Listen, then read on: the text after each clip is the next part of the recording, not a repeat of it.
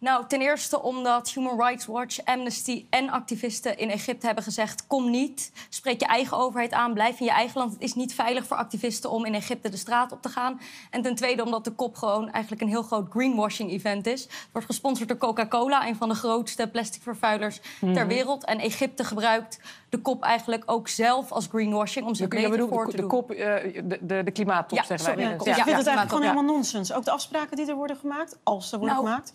De eerste klimaattop, dus de eerste kop, Ja. was twee jaar voordat ik werd geboren. En sindsdien is de uitstoot exponentieel toegenomen. Dus het heeft gewoon niet gewerkt op deze manier. En er gaan fantastische mensen naartoe die echt hun best doen. Maar er zijn ook bijvoorbeeld deze klimaattop weer 636 mensen uit de olie- en gasindustrie. Ja, Maar- de lobby maar- is gewoon te sterk. Oké, oké, maar bijvoorbeeld nu is er dan nog een beetje hoop. Hè? We hoorden ook Timmermans vandaag in het NOS-journaal. Dat fonds, dat klimaatfonds waarover wordt gesproken. De EU zet daar nu een beetje Die zet daar nu achter. uiteindelijk toch nog meer op in. Is dat dan iets hoopvols wat uit deze top kan komen? Dat er, dat, dat er toch geld nu lijkt te komen? Dat daar consensus Ja, nou ja, da- ja, lijkt? nou, dat, er was één ding wat mij opviel en dat vond ik wel hoopvol.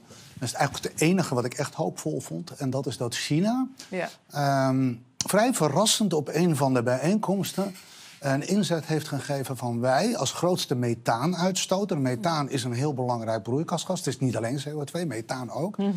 En China heeft gezegd om in 2030 30% minder methaan uit te stoten. Dan kan je zeggen 30% is niet veel. Maar wat je moet doen in zeven jaar om dat voor elkaar te krijgen is wel veel. En dat China daar dan ineens mee komt, tot verrassing van eigenlijk met Dat vind name... jij hoopvol.